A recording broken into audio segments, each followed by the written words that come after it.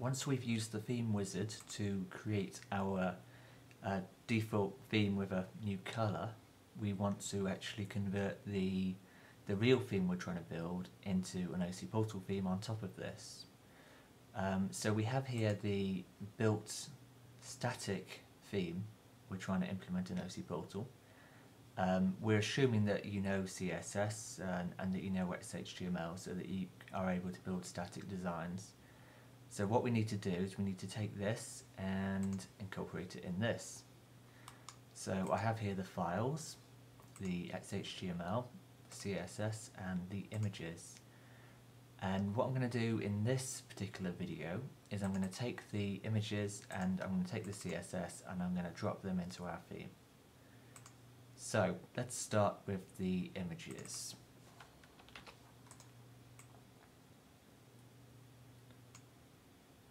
Okay, um, I'm just going to browse into where my particular copy of ocPortal is and into the theme.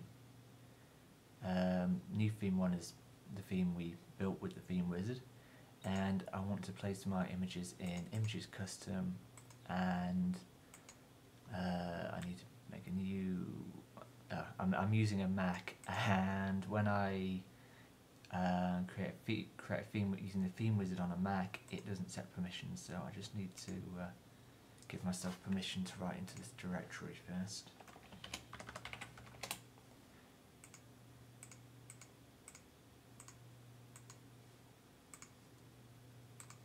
Right, um, I'm going to put them in a folder inside Images Custom just to keep them all together. And I'm just going to call this um, Business 1.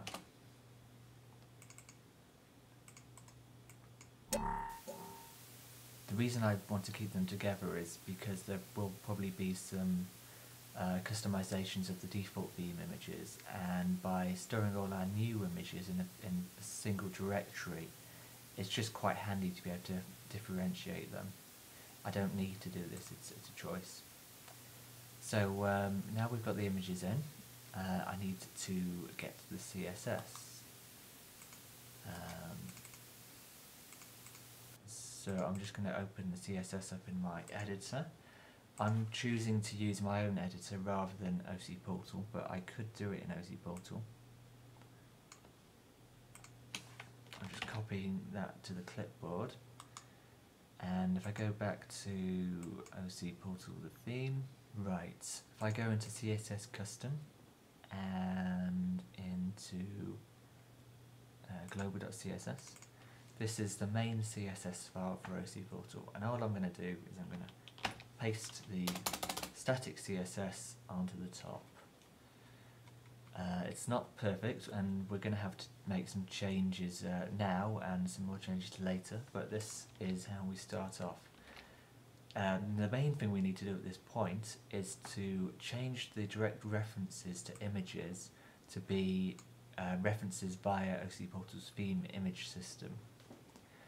Um, and that's actually quite easy to do all you really need to do is just kind of apply a pattern consistently and that pattern is um, uh, open brace, dollars, img, um, comma, um, put them in a directory called business one, so business one slash header theme and get rid of the file extension. And I just need to repeat this pattern downwards. Um, and I can do this kind of almost with search and replace. Um,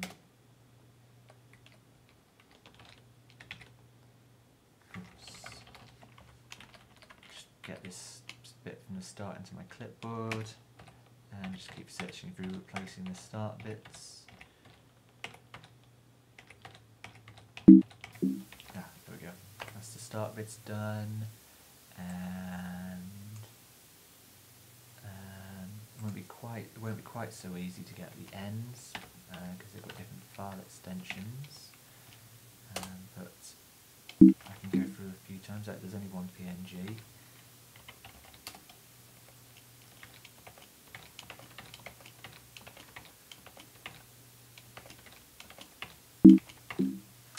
And theoretically there could be here. But there isn't. Okay, so we've referenced it, referenced the images by our theme images.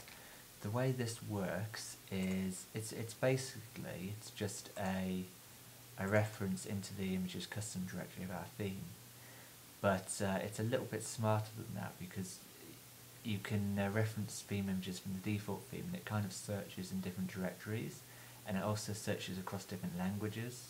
So if I had a particular theme image that maybe had some English text, I could, um, well, just, just going by an example here, um, um, I'm not sure there is a, a theme image that's applicable here, but let me just have a quick look. Okay, the logos contain uh. Chances are we wouldn't actually want to override these uh, for internationalization, but for this example, let's do it. Um, all I have to do is, uh, because, because these are English, I'm going to put them under EN. Then I just have to mirror the directory structure um, that would exist if it wasn't in EN. So I'm just going to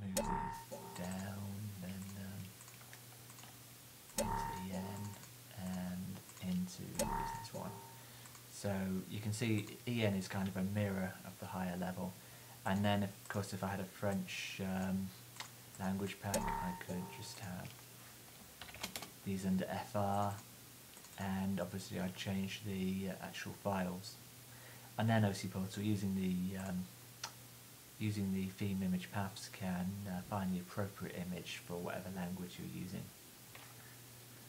Uh, so that's um, that's got our uh, CSS in and that's got our images in. Let's just have a quick look to see how it looks. Um, I expect it to look like a mess because we've got the styles of this and we've got the ocPortal styles and then they were never designed to work together. So there will be a certain amount of manual resolution after this, but uh, Okay, after about uh, three minutes of messing around here, I can see actually uh, the CSS I've pasted in makes no difference to the default theme at all, which is um, quite surprising actually, because I, I expected to change uh, at least a few colours and font sizes, but um, coincidentally it doesn't. Um, but once we start putting our XHTML in, we will start seeing these styles apply